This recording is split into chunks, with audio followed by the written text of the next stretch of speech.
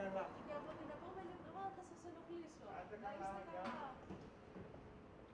Είναι μια απόφαση και επιλογή του Πρωθυπουργού που σηματοδοτεί και τη σημασία για την κοινωνική συνοχή και την ανάπτυξη της χώρας ο σύγχρονος πολιτισμός, αλλά και τις προκλήσεις που αντιμετωπίζει λόγω της πανδημίας και τις οποίες οφείλουμε να αντιμετωπίσουμε πάρα πολύ ε, δομικά και οργανωμένα.